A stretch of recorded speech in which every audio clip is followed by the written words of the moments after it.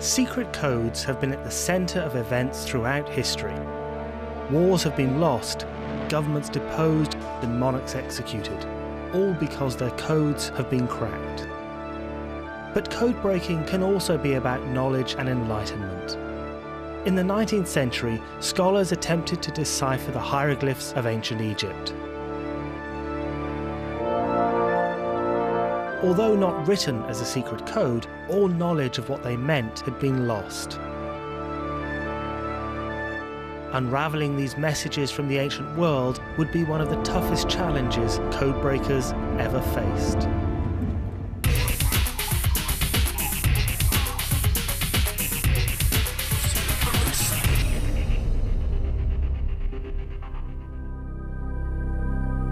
For over a thousand years, the hieroglyphs of ancient Egypt were a complete mystery.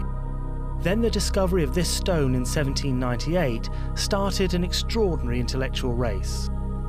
Jean-Francois Champollion in France and Thomas Young in Britain both believed that the Rosetta Stone, as it was called, held the key to deciphering hieroglyphs. But the Rosetta Stone did not yield its secrets easily. For two decades, it would tantalise and frustrate two of the most brilliant men of their time.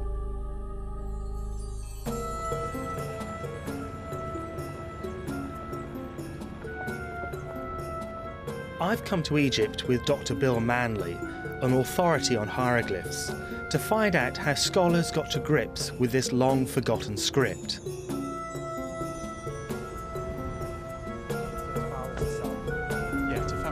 We've come to the tomb of Ramesses VI in the Valley of the Kings.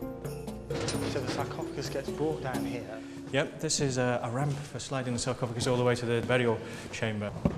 Early Christians had forbidden the use of hieroglyphs, believing them to be pagan and sinful.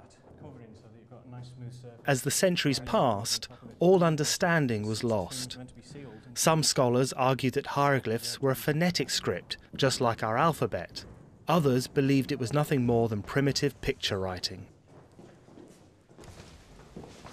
Now we're in the actual burial chamber of Ramesses VI, and we're surrounded by really mysterious scenes of the king's rebirth. And these are surrounded on all sides by hieroglyphic text. Now, after the 5th century AD, people couldn't read these texts anymore, so they looked at the scenes and saw that the scenes were mysterious and obscure. And so they assumed that the hieroglyphic script was mysterious and obscure in itself. So the pictures convey vague ideas of enemies and capture and rebirth and so on. Yeah, the scenes look mysterious, but the hieroglyphic texts are actually there to make clear what they're about.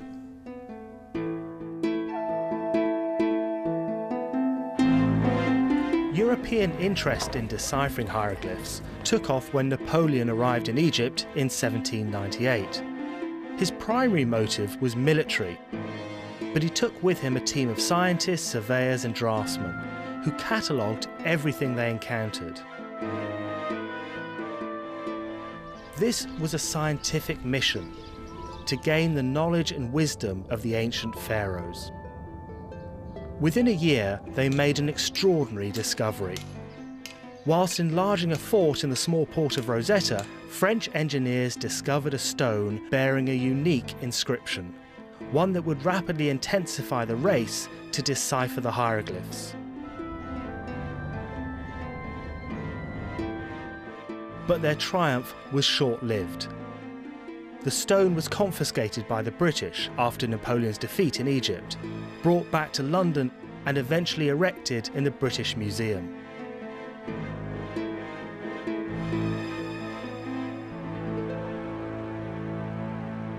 And this is it the single most famous slab of rock in archaeology. And what makes it so remarkable is that it has the same piece of text repeated three times in three different scripts. So at the top, we have the mysterious hieroglyphs. In the middle, we have Demotic, which is a sort of shorthand version of hieroglyphs. And at the bottom, down here, we have the Greek. And of course, scholars knew how to read Greek. Therefore, they knew what the Greek said, Therefore, they knew what the hieroglyphics said, and therefore they hoped they'd be able to decipher the meaning of individual hieroglyphic symbols. Unfortunately, it wasn't quite as simple as that. First of all, there was the problem of how to match Greek phrases to the appropriate hieroglyphs. Scholars simply had no idea which Greek words corresponded to which symbols. Secondly, most modern scripts are alphabetic. Symbols represent sounds. But the hieroglyphs bore no resemblance to any known alphabet. For a start, most alphabets in the world typically have about 30 letters, whereas there are over 700 hieroglyphic symbols. The alternative to an alphabetic script is a pictographic script, in which symbols represent not sounds, but ideas. So the hawk hieroglyph would represent the idea of a hawk, or the idea of flying or speed. But this didn't make sense either.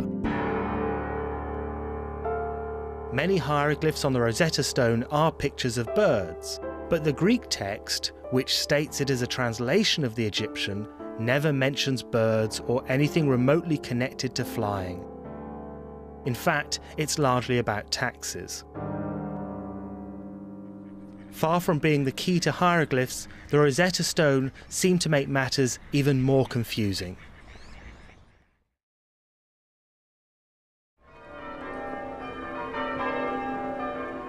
It took a genius to make the first breakthrough. In 1797, a medical student arrived at Emmanuel College, Cambridge. Thomas Young was an extraordinary polymath.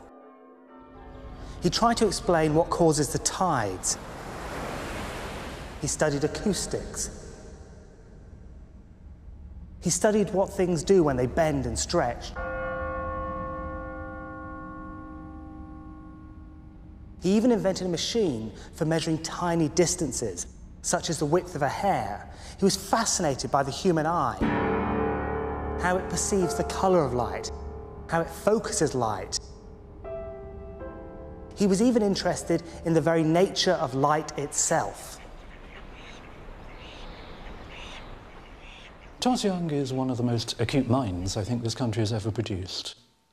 He's simply a genius.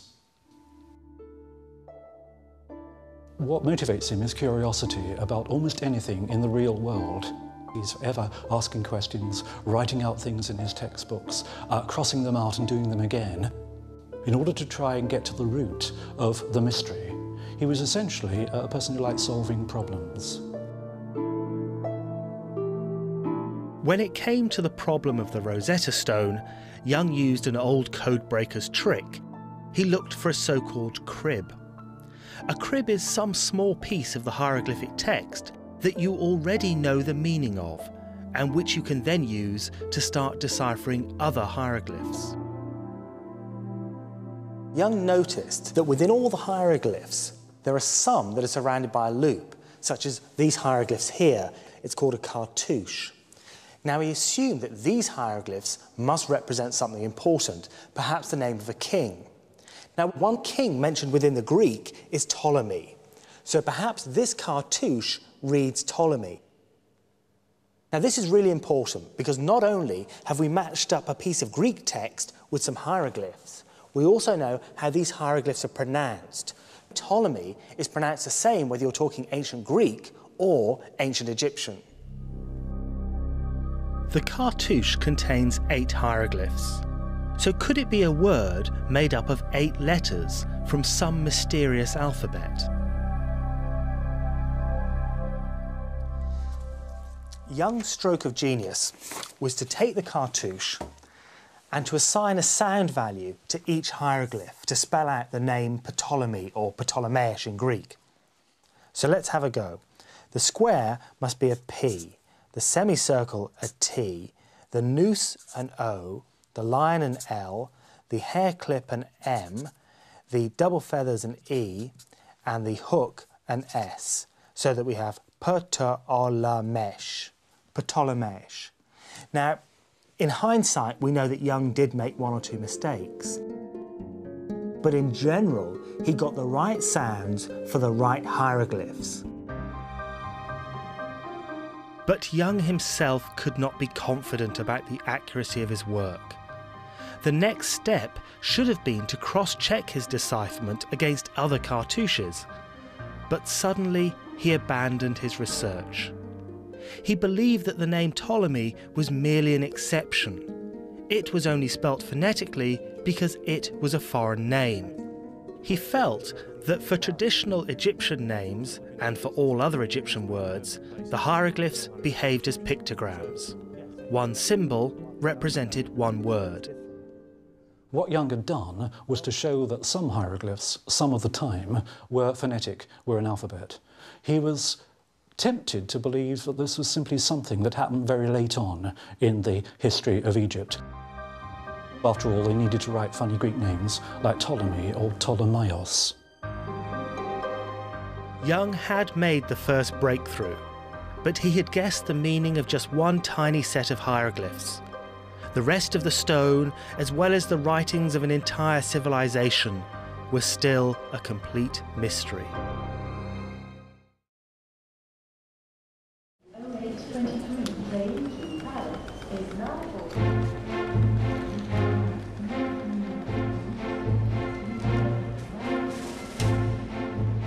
Progress on deciphering the hieroglyphs was proving slow and difficult. Scholars had theories, and some even declared that they had cracked the code, but they were wrong. Young's work was sent to Paris for evaluation, and among the scholars who received the paper was the brilliant linguist Jean Francois Champollion.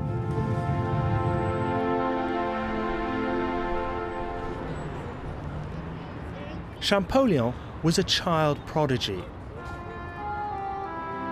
He could read Homer and Virgil at the age of nine. At the age of 10, in 1800, just after the Rosetta Stone had been discovered, he met the secretary of Napoleon's mission to Egypt, Jean Baptiste Fourier.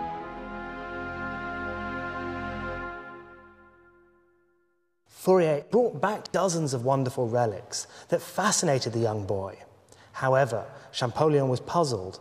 What was the meaning of the strange symbols that adorned the pieces? Fourier explained that nobody could read these strange symbols. At that point, Champollion declared that one day he would decipher the hieroglyphs. The young man had mastered 12 languages in order to mount his attack on hieroglyphs. Champollion was initially convinced that hieroglyphs were not an alphabetic script, and even released an article saying as much. When Young's work on the Ptolemy cartouche came to his notice, Champollion did an about turn. He changed his mind, but without mentioning the influence of Young, and even tried to destroy all copies of his article. He decided to adopt the alphabetic approach, and, more importantly, he tried to extend it to other cartouches that had just been obtained from Egypt. He started with the most famous Egyptian queen. So here we have a cartouche of Cleopatra, and just as we did with Ptolemy, we've associated a letter with each of the hieroglyphs. What Champollion then did was to cross check between the two cartouches. So, for example, in Ptolemy, the P is represented by a square. In Cleopatra, the P is represented by a square. In Ptolemy, the O is represented by a noose. In Cleopatra, the O is represented by a noose. This level of consistency showed that Cleopatra, like Ptolemy, was written phonetically. But Cleopatra was also a foreign name, so critics still argue that everything else was just picture writing.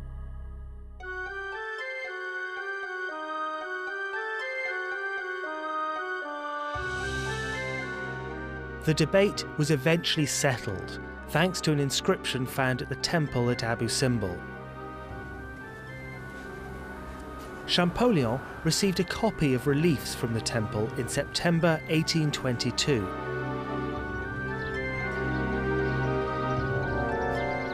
The temple has four giant representations of a pharaoh who towers over the landscape, facing the rising sun at dawn.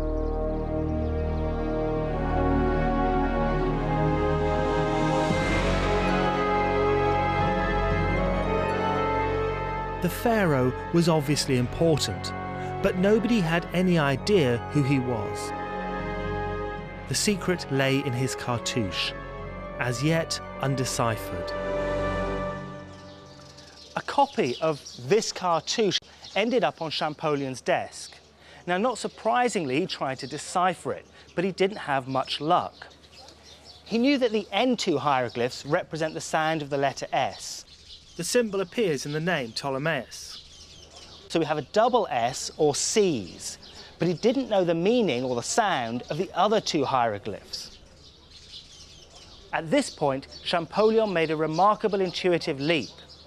He'd been studying Coptic, the language of the Coptic Christian Church, the Egyptian Christian Church. He theorized that Coptic, being the oldest surviving spoken language in Egypt, would be related to the way that ancient Egyptians spoke. Other scholars had advanced the same idea, but none had the linguistic skill or knowledge of Egyptian culture to show how it could work in practice. He knew the first hieroglyph represents the sun god. In fact, at the top you can see the sun. The Coptic word for sun is Re, so now we have Ray something sees. Ray something sees. Well, Champollion wondered, perhaps this represents the name of the pharaonic king Rameses or Ramesses, the great pharaonic name Ramesses.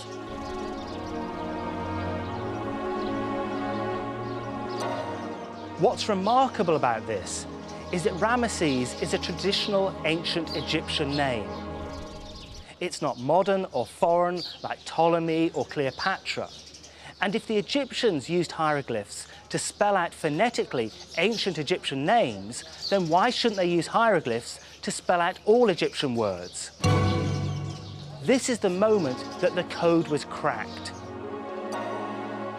So hieroglyphs do behave largely like the letters of an alphabet. For example, the letter M is represented by an owl. The chick represents the letter W. And the reason that there are so many hieroglyphs is because some represent combinations of letters, syllables.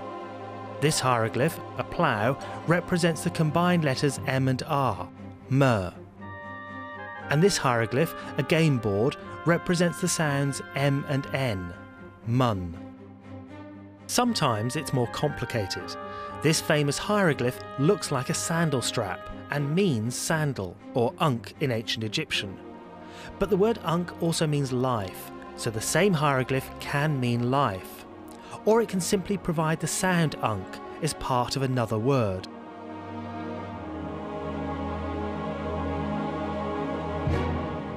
All of this took time to deduce, but it was Champollion's linguistic skill and insight that unlocked the most difficult of all codes, a forgotten script whose key had been hidden for centuries.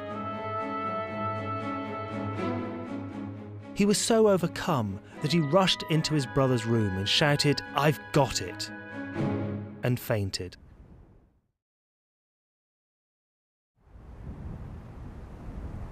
Champollion's breakthrough unleashed a whole new world of insights into Egypt's past. Bill Manley was keen to show me an intriguing example at Aswan. Among all the hieroglyphic texts, is there anything that's the equivalent of Samuel Pepys's diary? Not diaries as such, people don't record their innermost thoughts, but you get letters that they write to other members of the family. You get uh, notes to the milkman, if you like.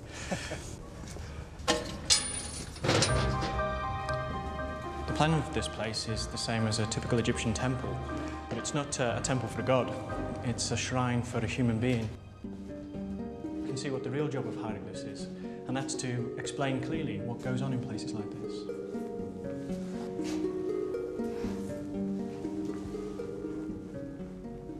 Before Champollion's work, there was no real inkling of what's being talked about here, which is ancestor worship.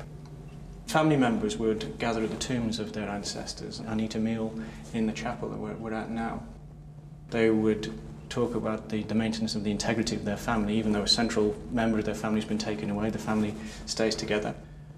Ancestor worship wasn't mentioned by classical authors, and therefore, until we could read texts like this, was uh, an important aspect of Egyptian culture of which we knew nothing.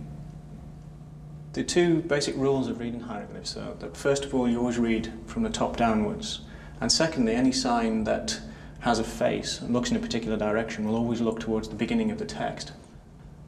We can see that the hieroglyphic text begins here and reads this way. The first hieroglyphs together, we get the word imach, which means a revered one. The second word here, the first hieroglyph is a ball of string, which gives us the sound ch. The mouth gives us the sound r. So we have kher, which means before or in front of. The third word is spelled out with two hieroglyphs. This jug here spells out the sound chenem, and that's the sounds in the name of the god Chnum. Chnum in Egyptian art was represented as a ram. It doesn't contribute anything to the sound of the word, it's what we call the determinative, and these are written at the end of words to give you some indication of the nature of the word. So that tiny jug or vase represents a syllable. That syllable happens to be the name of the god, but just to reinforce that, you draw a picture of that god. So the determinatives help us, but in general, the rest of the hieroglyphs are phonetic. That's right, it emphasises the fact that we're dealing with the ram headed god Khnum. The revered one before the god Khnum, the lord of the cool water region, which drops down here. The chief of Elephantine, which is the name of the, the town nearby here, the governor, which is the title that this man held, and then finally the name of this man, Nebkau Nacht.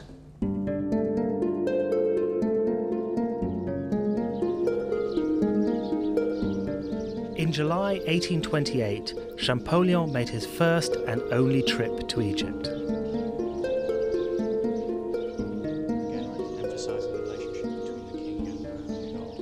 At last, Champollion could read the hieroglyphs at first hand, deciphering inscriptions that had previously been impenetrable, reading new insights into Egypt's past. For example, here at Karnak, Scholars had previously known nothing about the temple's history, but Champollion, by deciphering the hieroglyphs, could tell that it had taken over a thousand years to build the temple complex.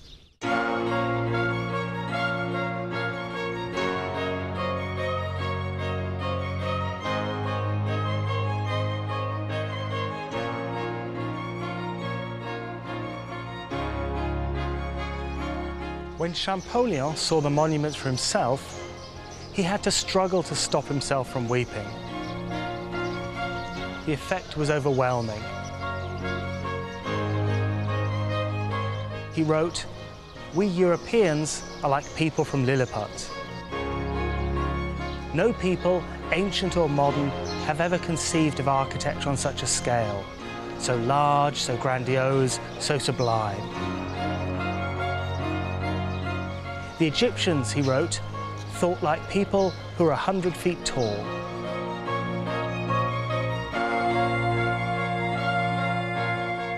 F, F, this snake here. On returning to France, he wrote up his notes about the trip. Mary, which means his beloved. As soon as he had finished, he suffered a massive heart attack and died. Ankh, the word for life. He was only 41 years old. Body, in Necha, Nefer. It was as though his work was done.